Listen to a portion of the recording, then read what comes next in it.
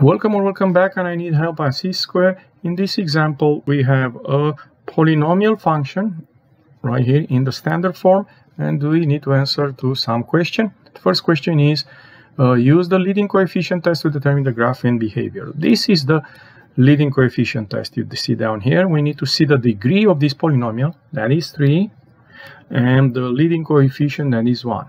Degree 3 means odd and the leading coefficient on that means positive.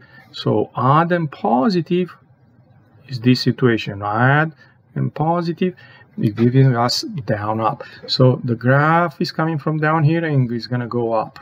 That is what it meant. Down here up here. Okay now we can go to point b where you need to find the intercepts of this um, polynomial function how we do that? We're going to set up this polynomial to 0. And we have 0 equals x cubed plus 4x squared minus x minus 4. And for finding that, this intercept and for solving this uh, polynomial equation, we need to factor out by grouping. And we're going to group the first two terms, x cubed and 4x squared, which have a GCF of x squared, and then x plus 4 here. And for the last part, we're going to factor out a negative because we want to get that x plus 4 we notice in the first factoring. And then we notice we have this x plus 4 as a common factor. And then we notice x squared left and minus 1. And this is a good factor form, but let's factor uh, completely. What do I mean by that? Let's take a look. x plus 4 is a prime polynomial, nothing else to be done. But x squared minus 1 can be factored out as x minus 1, x plus 1. Okay, and now we can use the zero product property because you have a, a multiplication of factors equals to 0 and we're going to make the first factor x plus 4 equals 0 and that will give us a 0 of negative 4 and an intercept of negative 4 and 0. The second factor x minus 1 equals 0, that is x minus 1 equals to 0, sorry. Okay. x minus 1 equals to 0 is going to give us what? x equals 1 as a 0 or the intercept is 1 and 0. And similar we have a last factor x plus 1 equals 0 which is going to give us what? X equals negative 1 or negative 1 and 0, right? So we have now the 3 x-intercept of this guy. And now we can go to the last part of this point B. We need to see if it crosses or touches and turns around at each x-intercept. And for that reason, we're going to look here. This is a power of 1, power of 1, invisible one, yeah.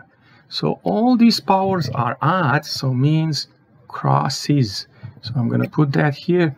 Crosses. Crosses is not any touching and turns around. At every single point, the graph is going to cross the x-axis. And now we can go to part C and D.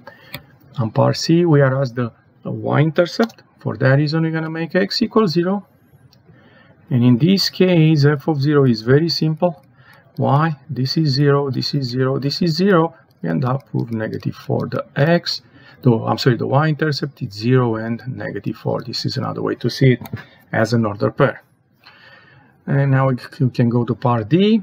When looking for symmetry, is this, do we have a, a y-axis symmetry, origin symmetry, or neither? For that reason, it's very important to look if the function is odd, or even. If it's odd, we have origin. If it's even, we have y-axis.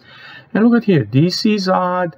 This is even. You add an even and an odd, you get what we call neither. So in fact, we have no symmetry.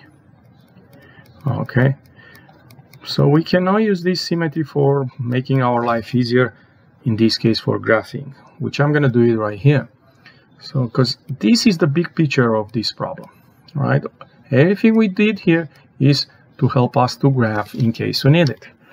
And if you remember, the zero were what? Uh, positive 1 negative 1 and 4 uh, and uh, negative 4 right let's let's let's go back to see it right uh, negative 4 1 and negative 1 right let's be sure so we're gonna have negative 4 right here negative 1 right here and 1 right here. And if you remember it was the behavior was uh, left down right up. So I'm gonna start from here.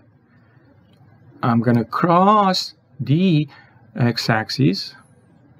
Gonna come here cross it and eventually here I need to go and meet somewhere the y-axis where if you remember this one was 0 and 4 negative 4 then come back here. This is a pretty decent sketch. This is the actual graph okay? But by hand this is a very good sketch. Okay you see this? So if you need to graph uh, plot these three points the three x-intercept in this case this y-intercept then you should be fine. And uh, using the uh, end behavior you can graph your problem. If you enjoyed this video clip don't forget to click the like button and come back on C Square for more help. Thank you